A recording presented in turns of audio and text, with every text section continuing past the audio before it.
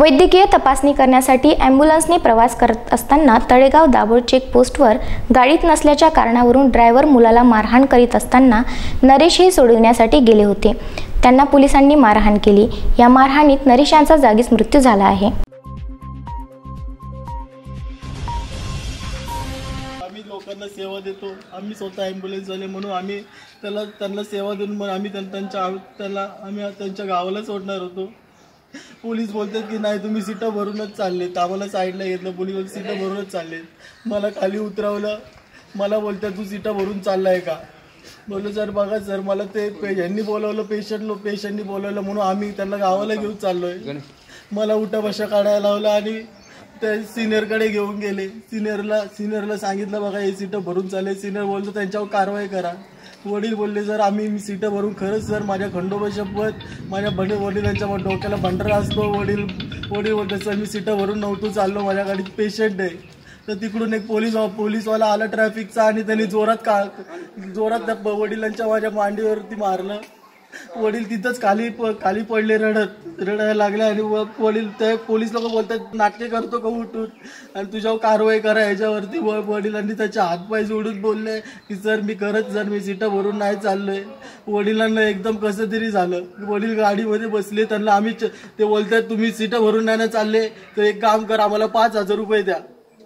बोले सर माझ्याकडे खरंच एवढे नाही मी काय पैसे घ्यायसाठी नाही चाललोय तरी सर त्यांनी आमच्याकडून तीन हजार रुपये घेतले आणि आम्हाला बोलले ठीक आहे जा वडील अर्ध आम्ही अर्ध्या रस्त्यापर्यंत आलो आणि वडिलांना अचानक वडिलांनी जीप अशी बाहेर काढली हातपाय वाकडे केले आणि एकदम आवाजच बंद केला.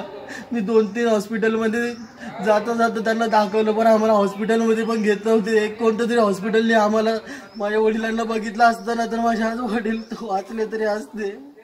हा प्रकार कुठं झाला? त्यांची जे शांत झाले जी बाहेर काढली ते. तळेगावरनं थोडंसं बाहेर आलो काहीतरी मला वाटतं पंधरा ते वीस किलोमीटर बसून तळेगाव चाक आपल्या चाकणपासून थोडंसं चाकण शिक्रापूरला बी तळे साकनला बी घेतलं नाही का? चाकणला पण नाही घेतलं शिका आपलं चाकणच्या पुढं चाकणचा जो सर्कल आहे ना त्याच्या पुढे आलो आम्ही. आणि चाकण तिथं माहिती झाली. मुंबई ते पुणे हायव्यावर तळेगाव नाक्यावर एक लवजी शक्ती कार्यकर्ता व त्याचे वडील सोबत ॲम्ब्युलन्समध्ये जात असताना तेथील तळेगावच्या नाक्यावर काही पोलिसांनी त्याला पकडलं व विचारलं तर तू इथे कास असे त्याला त्यांनी विचारल्याच्यानंतर मुलांनी सांगितलं पप्पांना दवाखान्यामध्ये न्यायचं आहे. परंतु याच्यामध्ये तर तीन चार लोक आहेत. तर तू काही हे करतो का? असं त्या पोलिसांनी म्हटलं. परंतु त्यांनी सांगितलं हे घरचे फॅमिलीचे लोक आहेत. आम्ही दवाखान्यामध्ये चाललो. तर त्यांनी पोलिसांनी कोणतीही गोष्ट न ऐकता त्या पुराला ड्रायव्हरला बे उद्बशा काढा लावल्या. व त्याच्या बापाला त्याच्या वडिलाला नरेश शिंदेला त्या लाठीने काठीने त्याला मारलं.